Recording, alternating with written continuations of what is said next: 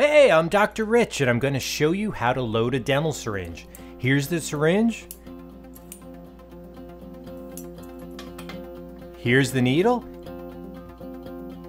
And here's the carpule of the anesthetic.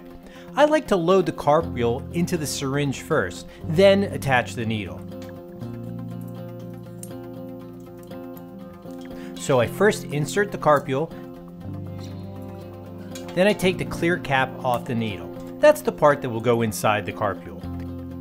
Once the carpule is in position, screw the needle all the way down onto the syringe to ensure it won't leak at the base.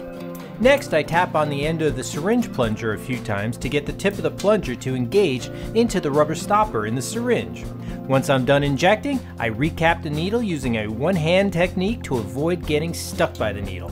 I'll scoop up the cap with the needle, then once the needle is covered, I'll secure it in place.